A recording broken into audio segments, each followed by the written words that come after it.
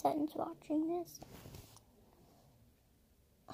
I'm truly sorry for what I've done. I just hope you will forgive me soon.